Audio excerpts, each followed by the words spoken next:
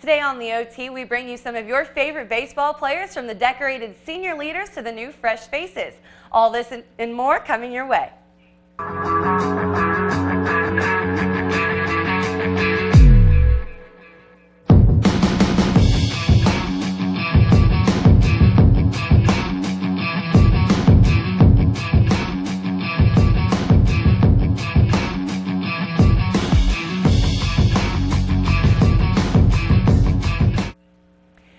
Welcome to the OTA segment of Tiger TV Sports Showtime.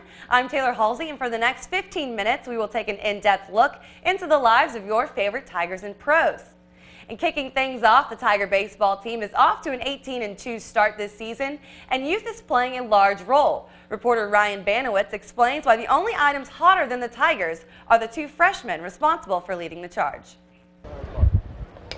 Freshman shortstop Alex Bregman entered LSU with immediate expectations to perform, and head coach Paul Mainieri built up the Phenom's image early and often. The kid's a ball player. I mean, if you looked up in Webster's dictionary baseball player, there's going to be Alex Bregman's picture there. 16 games through the season, Bregman is leading or second in virtually every offensive category and steadily quieting any remaining naysayers. Transitioning to the collegiate stage rattles some players, but Bregman doesn't seem much of a difference. Oh, I just think it's another baseball game. I just go out there and try and uh, compete. But Bregman isn't the only freshman feeling the Tigers' hot start. Head coach Paul Mainieri also struck gold from an unexpected speedy source. I know Mark Laird came in a little bit under the radar for all you guys. Not for me. Laird leads the team in batting average and runs scored and continues to set the table for Bregman and the rest of LSU's big bats. I just try to get on base because I know sooner or later they're going to drive me in. Laird and Bregman hit 2-3 in the lineup, and both say they're close off the field as well. While both players are lighting up the base paths, they're quick to defer to the other's talents. It seems like every time somebody's in scoring position, Bregman drives them in. I mean, he's just money and clutch. He's a great baseball player, great person, great friend, and uh, he competes his butt off, and that's what I love to see in a baseball player. Their talent with the glove rivals their accomplishments at the plate, and Mainieri certainly appreciates the freshman's contributions to the squad. I don't know what you call it, you know, but maybe lagniappe, okay? It's something extra about those guys. They find a way to beat you. They've passed all the early tests for success, and the Tigers can only hope they carry their hot bats all the way through a grueling SEC schedule. For Tiger TV, I'm Ryan Banowitz. Bregman and Laird meet their next set of challenges this week as they continue SEC play. Now, while the freshmen have gotten off to a hot start, the older crowd has brought their game as well. First baseman Mason Katz has nine home runs on the season, and reporter Matt Smith found out how Katz leads by example. I'm trying to lead, but not not by just hitting home runs. You know, that's I don't, I don't want to try to teach guys to swing for the fence or nothing. Though much of the attention so far this season has gone to freshmen like Mark Laird and Alex Bregman, senior first baseman Mason Katz has tried to set the tone both in the game and out. I try to really more lead by example, off of you know, not during games. You know, practice still every day when things are going good, not taking off when things are going bad, not getting down on yourself. After the first week of SEC play, Katz leads the conference in home runs and RBIs. Katz says he's enjoyed being able to pass on his experience and knowledge to the new players. It's fun to have uh, younger guys come in and look up to you and just ask questions nonstop. You know, I, I love talking the game to anybody. Katz says his past experiences have taught him a lot, and it's experience he wants to pass on. Us seniors and juniors as well have been through a lot since we've been here, and you know they want to they want to learn what we've been through, so they can understand. They have a better understanding, so they don't have to go through it. Katz has a batting average above 350 and hit three home runs this weekend at Mississippi State, including the game winner in the 10th inning on Friday. Head coach Paul Mainieri says having senior leaders is crucial to his team's performance. When you have veterans like Raph and Uh, Mason, and you can throw Jacoby and Tyler Ross into that mix as well boy, it just makes such a great difference. But Katz is quick to point out how vital his teammates are to his success. They, they've really helped me out. Like I said, they're getting on base in front of me, and behind me you got Ibarra who's crushing the ball, and Jacoby who you know has the potential to kill anybody. So uh, you know that's been the big thing for me. I've been getting better pitches. Katz says his former teammate, outfielder Mikie Mahtook, was a role model to him as a young player, something he hopes he can be to the new players. Going into the outfield, playing, you know, being able to play beside him, and then him giving me his number eight, you know, that, that was my huge, you know, idol coming to LSU. Reporting for Tiger TV, I'm Matt Smith. You can catch the Tigers in action tonight at 6.30 when they take on Northwestern State. But now the LSU Lady Tigers softball team took on Georgia Southern in an evening doubleheader Tuesday. Rachel Fico led the Tigers to a shutout in the first game of the night, but in the second it was Bianca Bell who was the hero, as her RBI double gave LSU a 3-2 lead that they would not relinquish. Head coach Beth Torina explained the significance of Bell's impact on the team said this before she doesn't have to get hits to lead us she just leads us with her personality and who she is she really sparks us and just her approach at the plate leads us so when she actually is able to come through it's even more dangerous for us you can catch the LSU softball team this weekend for their series against the South Carolina Gamecock. The first game is 6 p.m. Friday at Tiger Park. But stick around because after the break we have so much more coming at you.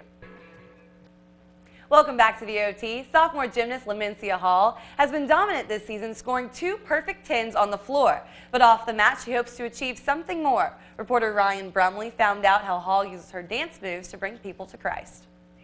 For sophomore Lloimincia Hall, dancing not only earns her perfect tens on the gymnastics floor, but also serves a higher power. For being able to get to Christ through dancing moves is everything I'm about. So when I was able to give get opportunity to do so, I took it and ran with it. Hall teaches spiritual dance at Grant Mount Olive Baptist Church to a group of 25 girls ranging from ages 5 to 18. High school senior Onyx Joseph says that Hall provides a great role model for her to look up to. She's just so energetic. I love that about her, and she teaches us like, don't give up, don't give up, even though your knees hurt, your feet hurt, you're tired, keep going. Joseph says Hall's teaching also allows her a unique opportunity to worship. I get to express myself in a beautiful, beautiful way in front of people I love, and most importantly for the person I serve, which is God. Paul says she hopes she can touch the girls' lives just like God has touched her own. Christ is all about ministering and touching lives and touching hearts, and that's what ministering through dance is, is using movements to enable to touch a life or touch a heart to bring more people to Christ. And for Lloimincia, no matter whether it's in the PMAC or at a church service, she wants people to know that Christ is everything she's about do that each and every time you perform, regardless of it's on the gymnastics floor, regardless of it's spiritual dance here, regardless even if you're at Walmart. You want to be able to have somebody say that there's something positive in their walk, in their talk. There's always encouragement.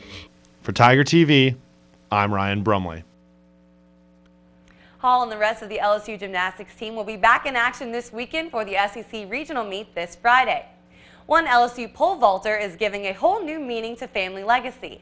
Our own Sydney Armstrong brings us the latest on one of LSU's most prominent pole vaulting family. Flying high is more than just a passion. It's a family tradition for LSU sophomore pole vaulter Andreas Duplantis.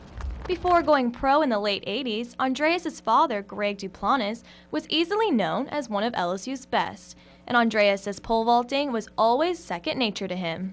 First pole vault pit was a trampoline. We pole vault onto that.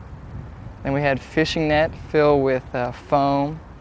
So I mean, it was always, he always had like an environment for pole vaulting, regardless if like we wanted like thought about doing that. We were just doing it in the backyard just for fun. In just his sophomore season, Duplantis is already setting records and even beating records that run in the family. I mean, I passed my dad. I wasn't expecting to do that so early. But he was there. He told me like, in the stands. He was like, came to me. He was like, "So you beat me, huh?" I was like, yep. But Duplantis wasn't always sure if fulfilling the family legacy was right for him until his mom realized that with his dual citizenship, he could have an amazing opportunity and compete for Team Sweden. And in Sweden, they just took the top two in the country, which I was at that age. So it was like, Sweden's like, yeah, we'll take you. And then USA was like, we got to go here and jump, and then got to make this. When given the choice to either compete for his home country, USA, or Sweden, Duplantis said the choice was actually pretty easy.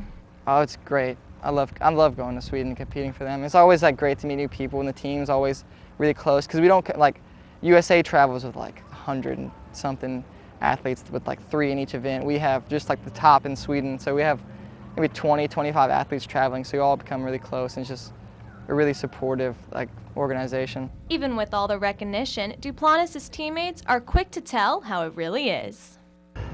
He looks like Will Ferrell. Slightly less funny though. Yeah, not funny at all. Yeah. Pretty quiet, isolated. They're just know. jokesters. He's really a sweetheart. Nah, Dre's pretty cool. To women. Yeah. Uh, I don't know if I'm as funny as Will Ferrell, but I'm not not as funny as Will Ferrell. I mean, they're obviously not funny if they made that lame joke. For LSU's Tiger TV, I'm Sydney Armstrong.